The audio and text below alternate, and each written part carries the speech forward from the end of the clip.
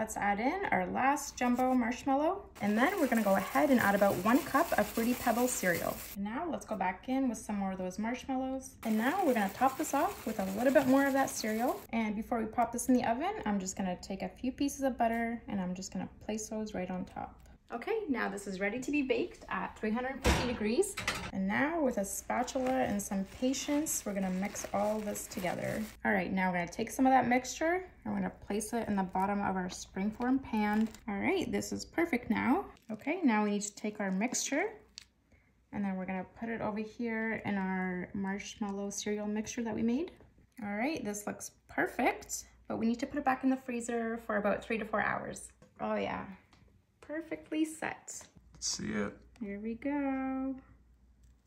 Oh, wow. So pretty, That looks so good. right? That's actually amazing. Pop our egg in the middle, take the other half, and close it up. Add it to our flour, and you're just gonna wanna make sure the whole thing is covered with the flour. Now we're gonna take it out, put in our egg wash. There we go, now we have our egg all over our avocado. I'm gonna pop it into the breadcrumbs. Beautiful. There we go, that's perfect. Okay, time to deep fry this Throw it in. gently. Nice. Okay, so it's been about four minutes. So let's take it out. Let's do it. That's perfect color. Wow, that looks so good. That looks amazing. okay, that looks great. Now let's cut into it. Let's do it. Nice. Gently. Woo! Wow. Wow, that looks so good. That's actually so good. That's so bomb. We're gonna start by cracking a large egg and then just pour that right into your muffin pan. Now I'm just gonna cut up some turkey pepperoni slices. I'm gonna take that chopped pepperoni and just place it on top of our egg.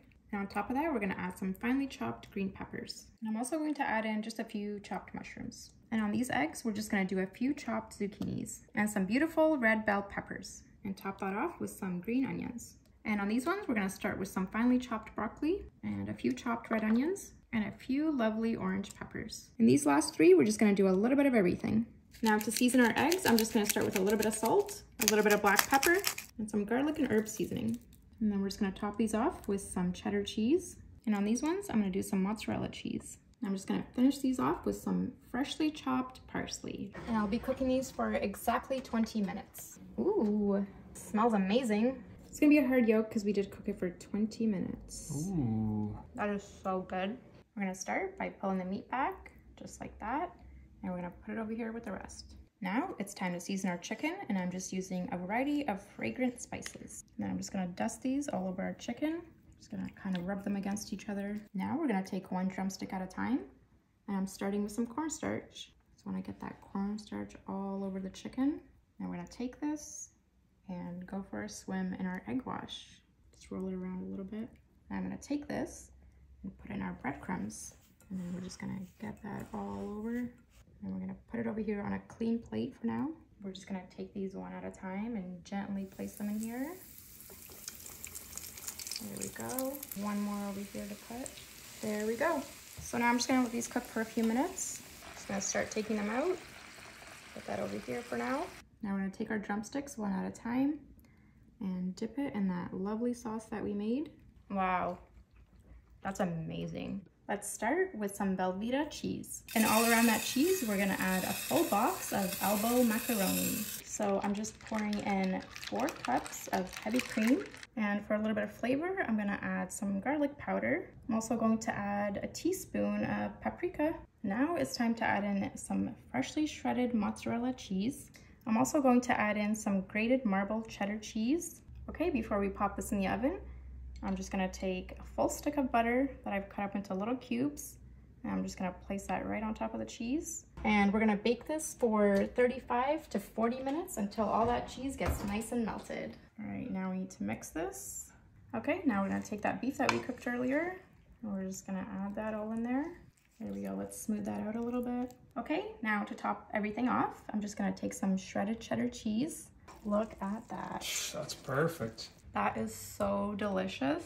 We're going to start by adding our eggs to a baking sheet. And I've just sprayed it with a little bit of olive oil so nothing sticks. Couple more to go here. There we go, perfect. Now I'm gonna take the little pieces of butter and just place them in between the eggs. And we're gonna grate some of that all over the eggs.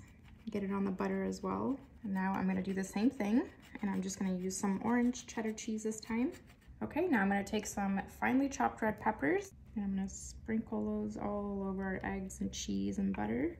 And on top of that, we're gonna add some chopped chives. Now it's time to season our eggs. I'm just starting with a little bit of salt. And after that salt, I'm gonna do a little bit of freshly cracked black pepper. And last but not least, some dried parsley.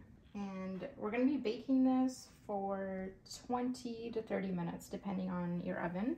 Oh yeah, these look like they cooked perfectly. Now let's cut a piece out. So good. Let's start with a bag of Doritos and we're gonna smash them into small pieces. We're gonna go ahead and pour them out. Now we're just gonna spread this out, going all the way to the edges. Now for our second layer, we're gonna add that well-seasoned ground beef. And then we're just gonna spread that out on top of those Doritos. And now we just need to pour our sour cream and salsa mixture all over that beef. And then we're just gonna gently spread that out going all the way to the edges. All right, now on top of that sour cream and salsa, we're gonna add a generous amount of mozzarella cheese. All right, let's just spread that out a little bit, going to the edges. Now we're gonna smash another bag of Doritos. Now let's pour our second bag out for our final layer. And then we're just gonna spread that out. Okay, now for the final layer, I'm gonna take some butter, which I've just cut up into little cubes, and one more in the middle here. And you just want to cook this for about 20 minutes. Let's take our Dorito pie out. Ooh, that cooked nicely. Ta-da! Wow. That is so yummy. We're gonna start with one block of feta cheese, and then we're gonna go ahead and add in four cups of cherry tomatoes. Next, I'm gonna add in some peeled garlic cloves. I'm just gonna place those all on top of our tomatoes. And on top of that, we're gonna add some little pearl onions, now we're just gonna drizzle everything with some good virgin olive oil. Now I'm just gonna sprinkle the feta cheese with some crushed pepper flakes. Last but not least, I'm just gonna add in some fresh thyme and one at the front over here. All right, now we need to put this in the oven and we're gonna cook it for 20 to 30 minutes. All right, it's time to take this out. And we had it cooking for 30 minutes. Mmm, smells amazing. Oh yeah. Let's break that up a little bit. Yeah, those tomatoes cooked perfectly. And now we're gonna add in some cooked pasta. And then we're gonna mix that all in with the feta, tomato, garlic, and onion. And a little bit of fresh parsley. That is so good. We're just going to layer last one in here, just like that.